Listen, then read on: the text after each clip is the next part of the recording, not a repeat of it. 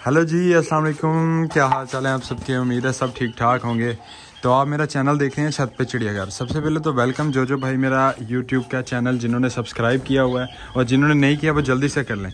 आज की इस वीडियो में मैं आपको तीतर की टोटल जितनी भी इकसाम होती हैं उनके बारे में इंफॉर्मेशन दूँगा ठीक है?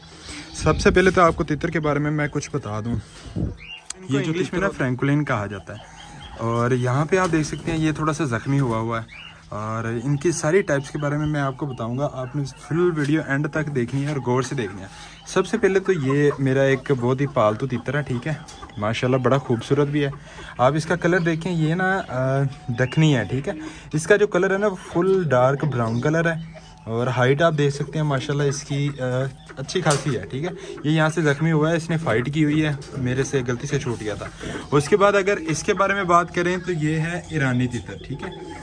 ईरानी तितर और इसमें आप फ़र्क देख सकते हैं हाइट भी एक जैसी होती है तकरीबन, हर चीज़ एक जैसी होती है। इसकी चूंच थोड़ी सी डार्क है, इसका कलर ब्राउन है थोड़ा सा, और वो थोड़ा सा रेड रेड में आ जाता है, और उसकी चूंच भी इससे थोड़ी सी वाइट होती है। अभी इन्होंने माशाल्लाह तीन अंडे दिए हुए हैं। तो अभी हम सेकंड पे आपको बताता हूँ। ये दो तो समझ आ गए ना आपको, दखनी और ईरानी। इनकी आप समझ आ गई होगी आपको।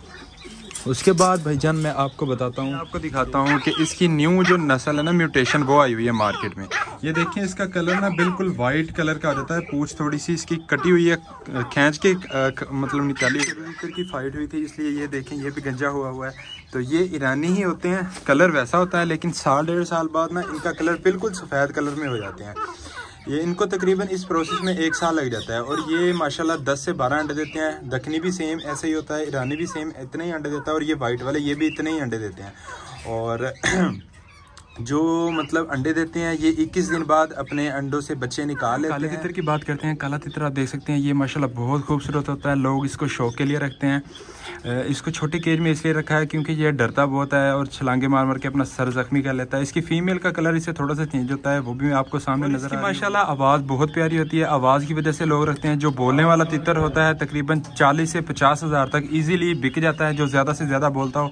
और लोग इसको ऐसे ही ले लेते हैं। इतना शौक होता है इसका इतना शौक करते हैं। नेक्स्ट पे अगर हम चाहें तो एक हमारे सिंध की तरफ़ पाया जाता है जो, जो मतलब दखनी और ईरानी की तरह ही होता है लेकिन उसकी ना हाइट थोड़ी छोटी होती है। और वो तितर जो होता है वो भी यहाँ पे पाया जाता है पाकिस्तान में। ये पाँच छः तरह के तितर होते हैं जो कि पाकिस्तान में पाए जाते हैं। और माशाल्लाह अगर इनकी प्राइस की बात करें तो ये जो होता है ये इसकी प्राइस तकरीबन पंद्रह से बीस हज़ार होती है। मेल की ठीक है जो कि बोल रहा होता है ठीक है। और जो बहुत अच्छा ज़्यादा बोल रहा होता है ये चालीस पचास हज़ार तक मतलब नॉर्मल बाज़ार में बिक जाता है। उसके अलावा हम दखनी की प्राइस की बात करें कि दखनी जो होता है ना ये भी पेड़ तकरीबन दस हज़ार तक सेल हो जाता है इजीली और इसका जो बच्चा होता है दो हज़ार पच्चीस सौ का सेल होता है। इस साल माशाल्लाह इन्होंने बहुत से बच्चे दिए थे मैंने सेल कर दिया और ईरानी जो है वो इससे दखनी से थोड़ा सा महँगा होता है। अगर ये दखनी आठ हज़ार का पेड़ सेल हो रहा है तो वो दस हज़ार का होगा अगर ये दस हज़ार का हो रहा है तो वो बारह हज़ार का। तो ईरानी जो होगा उसका बच्चा जो है पच्चीस सौ से तीन हज़ार तक सेल हो जाता है। वाइट पेड़ की बात करें ये भी देखें।